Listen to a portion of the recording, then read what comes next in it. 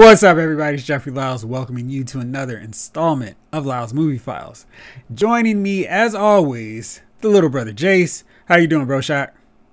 Hello, doing good. Doing good. Ready to podcast. Amazing. And even though you can't see him because of the New York Giants camouflage, we've got Chief. What's up, man? Even on mute, he still collapses. Yeah, that that's very very polite. Could dislodge the mute button. I guess the dogs are going at it. All right, speaking of going at it, let's talk about The Walking Dead. It has they broke it up into three parts, and the second part had its mid-season mid-season part two finale this week, and we both had different thoughts on it. Where I'm like, these Commonwealth cats are crazy, specifically Lance Hornsby, because it doesn't make any sense what he's trying to do here. And you were go ahead and say your point about this whole deal because I thought it was really funny. Okay. So, as we saw at the end of last season, one of the main things that the Commonwealth did before they invite anybody to live with them is they go through these intake interviews and they ask them, you know, a thousand questions, see if their story is going to change. And when they talk to Eugene, who's been around basically since season three, he's probably given them very good detail on what happens when you cross Rick and them boys. and every time it's like, hey, we come to a community, we stay there, we act peaceful, and then probably a year later, we've screwed it up, we've gone to war with somebody, and the community's all dead.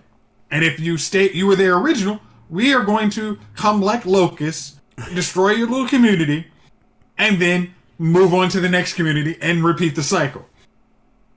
So Lance Hornsby, after hearing this, I mean, he probably had a printout and everything because they're modern society. So he had probably recording, and he hears this, and his move instead of just you know what, a either not assimilate him or just hey, we can clear out other patches of dirt land and create new society. He decides he wants to cause drama with these guys. They can't they can't keep a functioning society at all for 10 years. But one thing they are perfect at is destroying other communities. That they is- have they are undefeated on that scale. Oh, And you they excel at it. I mean, like, it doesn't matter. You got the numbers. They these guys are good at violence, and you want to call. I mean, you want to create drama with them. You're an idiot. It's like I I, I didn't understand that at all. Good luck. So yeah, that that is a very weird deal because they have their perfect society. They've got ice cream, they've got cotton candy, they have festivals. And I'm like, what do you need anything else? Who could ask for anything more?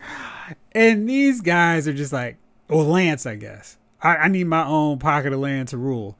And I'm just thinking, this is the worst pocket to try to take over because there's nothing of use at Hilltop and Alexandria. These are broken down societies. Maybe Oceanside oh. has some value, but the rest of them, there's other Hilltop- Oceansides. Hill- Hilltop is just a symbol. It's like I don't want your symbol. You guys have Hilltop. Have your symbol. I want land, real estate. I, I'm talking about bringing colleges back. You know, going up the river to another state. It's like well, I'm gonna go up to Chesapeake. You know, the Eastern Shore, hang out there. Maybe try and revitalize Ocean City again. I'm not messing with you morons. Like, no, you guys do whatever you want over at Hilltop en- en- enjoy it. Alexandria, there you have no land. You can, kingdom's gone. You can have all of that. I'm making a deal with Hilltop. I mean Oceanside. Like, hey, I'm inviting you guys to this party. I might give you some resources. Just stay out of my way so you don't come invade me like you've done every other side. Like, like the saviors, where they decided, oh, we're gonna start this war because we want more stuff. It's like, no, I see what these dudes do. Here's over there. Y'all stay away. We have a neutrality pact that y'all don't mess with us. We do not want to be part of you. Would you? Y'all, we will do whatever. We will create a, a peace treaty just to stay on y'all side of the fence. I don't want anything with y'all. So after hearing like after ten years, we destroyed uh Woodburrows, we destroyed the prison, we destroyed uh, Terminus, uh, we destroyed Alexandria real good. We destroyed Kingdom. Oh, and Hilltop. Shoot, yeah, Hilltop, Hilltop doesn't even have a building anymore. I mean, we're really thorough on our destruction of towns. And you want to start mess with us? Come on, man. You got to be better. Like that makes no sense. Yeah, and then I, there was a lot that went on, and I've been kind of bored with this whole subplot with Eugene because I feel like Max is absurdly in every way possible out of his league, and even though he's kind of chatty, I don't see it at all, and she's way, way, way, way out of his league. And she fell in love with personality. Gosh, that's a whole lot of personality. So but then we we got this thing where they're doing their secret cabal, and it's like, yo, okay, we got Connie, we've got Kelly, and we're gonna spread the word to the citizens of the Commonwealth. And that just was like, hey, there was already a resistance, a small resistance force. Why did y'all never meet up with those cats? Because instead they were just like, we're gonna we're gonna create our own revolution. I feel like that was so weird because there was already a force opposing the elite, the upper class of the Commonwealth, and they're like, "We're gonna do it our way and blow it all up." But isn't isn't Lance kind of the leader of the resistance? See, that was a, that was the thing where it was they took that subplot and then just like, eh, who cares?